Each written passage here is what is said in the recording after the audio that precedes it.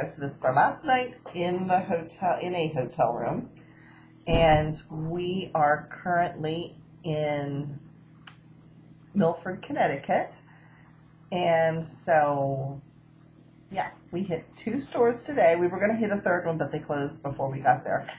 So I do have stuff to show, and I've got some video to show. We also, because we had to use a restroom, got off of the interstate and found this really cute little, I don't know if it was a, I think it's a state park. We found a cute little state park, and um, it was called Kettle, Kettle something or other. Kettle Pond Natural Resources Park or something. I will put the information below. And we went in and after using their facilities, we we looked around the nature center and I took some pictures there as well as some video for the yarn shops that we went to. And I will also be showing you what I got at each of the yarn stores. So, uh, just to give you some general information, we have a give along running right now for a mystery skein of yarn and I will be announcing the winner on Saturday, October 7th. Uh, to enter, it's open internationally. To enter the giveaway, all you have to do is leave a comment or leave a question in the in the comment section down below.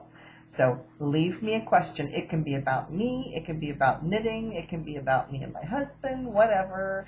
Uh, you just have to enter a a question and just in case, normally I always respond and answer everybody's questions, but because everybody's going to be asking me questions, um, I'm actually going to answer them mm, possibly with my husband if I can coerce him into sitting with me doing a question and answer on one of the episodes that will be upcoming. So I will respond by sticking a little heart next to your reply so you do know that I, I have read them.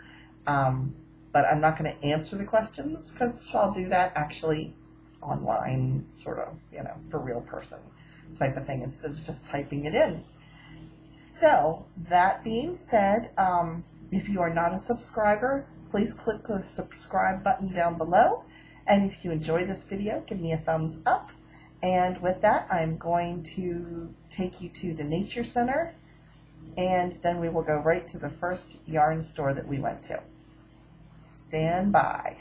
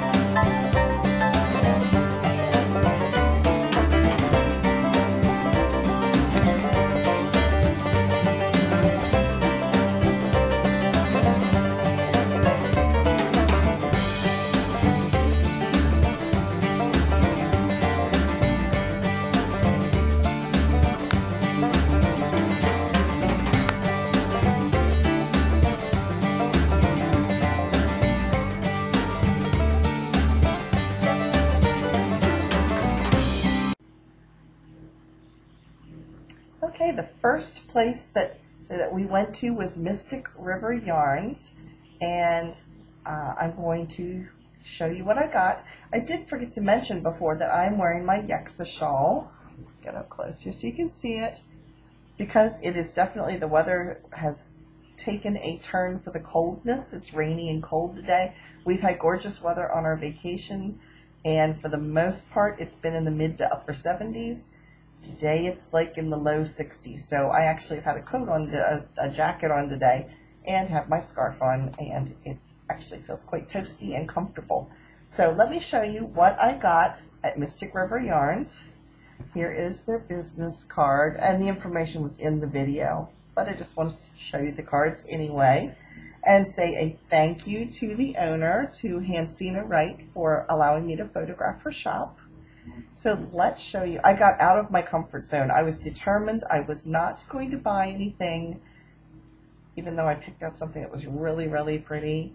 And then I looked at it and I was like, it's the same colors I always buy. There were some beautiful pinks and purples. I went, no, no, as much as I like it, I need to go something, something different. So I bought this skein of yarn first. It is by Ellen Cooper, who is a independent dyer, and she is in Sprague, Connecticut. So she's a local dyer. And this is a 50% bamboo, 50% cotton. And it is a fingering weight 225 yards. And the color is called Spice Grove. It says Jenny here, so I don't know if the color is called Jenny or if it is Spice Grove. I'm not sure, but here it is. And this is showing up pretty true to color. It does have my regular purple in it, I know, guys. But look, it's got olive green. Uh, it'll match the shirt that I'm wearing. Look at this. Yeah, there we go. See? Olive green. It'll match the shirt. So that'll be good. And it's got some deeper greens right in here. Again, that will match the shirt. So it has like purples and tans and greens and it is, like I said, a bamboo and cotton. So it's a summer weight, which will be nice because I don't have much in the summer weight department. So that was the local dyer that I bought. And then she also, and this one is called, it's I, I'm thinking that this is called Cool Rooster.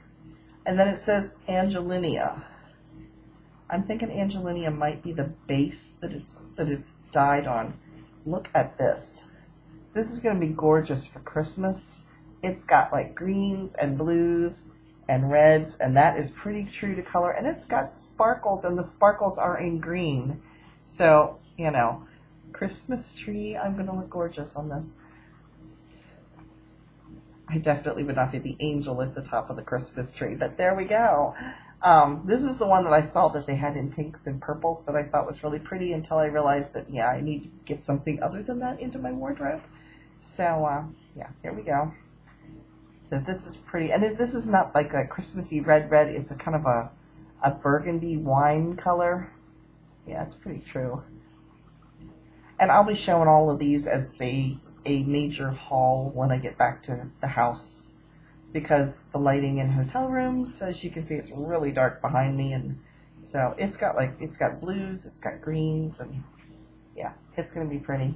And this is I didn't tell you what this is. This is a 79% wool, 18% nylon, and 3% metal. Um, approximately 150 yards. So this is going to be a cowl. Definitely. That's what that's going to be. Because I'm not a hat person, so um, that's what this is going to be. And then I bought one more thing, and this is just plain white. It is a single spun. It is Maxima by Manos del Uruguay. There's the card. And the reason I bought this is because I really wanted to practice with my dyeing of yarn. And when I went to go to Peter Patch's um, I still haven't, I've sent an email and I've called and I haven't heard anything back. So I don't know what's going on there. So I don't think I'm going to make it to get that, um, the sale that was going on, which was for a cone of cotton. So when I saw this, and this was very, very reasonably priced, um, It's cheaper than what I can order through the mail. So I thought this would be ideal. It is a single spun. It's worsted weight and it is 219 yards.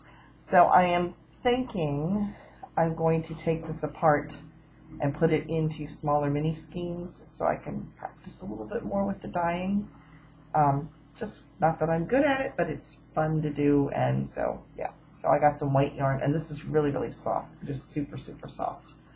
Um, it is a fair trade extra fine merino. So I got that. And then they gave me a couple of freebies. They gave me a sample. It's in Jasmine of Rapture, which is a no rinse delicate wool wash. There it is. So that was really nice. So I was excited about that.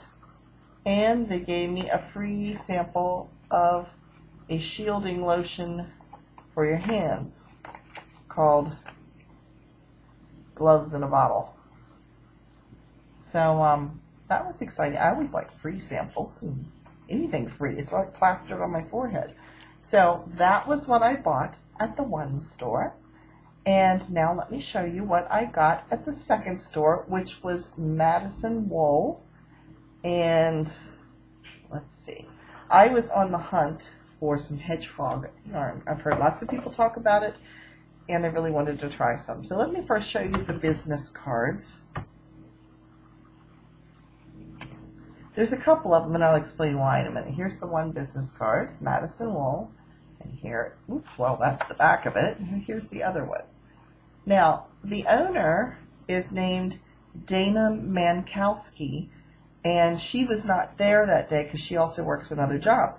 But in talking to the lady that was working there, she explained to me that the owner also is a fiber artist. She also does like I guess spinning and some dyeing. So um, yeah. So anyway, check her out. Um, I have the contact information below. So yeah, give it a shot and check it out. Let me show you what I got. These are the two hedgehog fibers that I bought. Let me see if I can get this one so you can see the colors. Yeah, there we go. Of course it's got pink, because you know, I can't totally go on withdrawal with pink. So these are sock minis. This one is called Cheeky. And it's it's pinks and there's a little bit of purple and there's some speckles and it's mostly a white base and there's some little flecks of like a grayish black. And it is 80 80 meters, which is 87 yards. And it is a 90% superwash merino, 10% nylon. So yes, you could make socks out of this, but I'm not going to. I'm not sure what I'm going to make out of it, but I don't think it's going to be socks. So I got that, and then this one is the same, um, it's the same base, same amount of yarn, and it's called graphite, and it is more of, um, it's kind of a tonal charcoal color, which I thought would look cool with the charcoal colors that are right, like the little speckles that are in here. So these two together, I think, are going to look very nice. And again, I'm not sure what I'm making with them. Um, but I wanted to try. I just wanted to get enough of it to give it a shot and, and use it. And it is very soft. So um, I bought these. And then I had somebody was watching that posted something on Facebook, and they had done a shawl out of this German yarn called Zauberball. And so I happened to see it, and I decided, hmm, let me try this. And Zauberball, um, it is 420 meters or 459 yards. It's 100, 100 grams and this is like a fingering weight, I think. Pretty sure. Yeah, pretty much fingering weight. And so I wanted to try it and look at the gorgeous colors. It's got some navy blue. It's got this, again, greens do not show up really well. This is all, it looks blue in here. It is not. It is It is about as green as you can get. It's it's almost a forest green, but for some reason when you record greens and teals do not come out real well. But this is this is a um, like I said, forest green, and then this is almost a magenta, and then there's this color in here that's almost a purpley wine color, and I'm not sure what else is in the middle of this. And there's a blue over in here. So um, I'm I think this is the same color as the lady that had posted something on Facebook did. And she had just done just a plain triangular shawl, but it was gorgeous because it kind of self stripes. So um, that was the other item that I bought there. So that was exciting, and that was the end of my shopping for today. And tomorrow we'll be headed home. There will be another another video because we're picking up our puppy. Um, my parents are babysitting, well, puppy sitting our dog. I, I say puppy, but she's actually like almost seven years old, but she's a little baby to me. So we're picking up the fuzzy baby tomorrow. So I will, I will post a little video of, of her. Although she probably won't want to come home with us because my mother feeds her better than I do. When she goes to her grandma, you know, she is like spoiled rotten because my mom warms up her dog food and puts a little cottage cheese in with it and the last time when she stayed with them and she came back home, she turned her nose up at her food because I didn't fix it the way my mother did. So, yes, yes, she has been spoiled and pampered. So, uh, she's going to get a reality check when she comes back home, but that's okay. We miss her. So, she's just got white hair just like her mom. So, um, yeah. So, anyway, I will see you again tomorrow. Thanks again for stopping by. And don't forget to post a comment down below or a question down below to be entered in the giveaway. And I'll see you again tomorrow.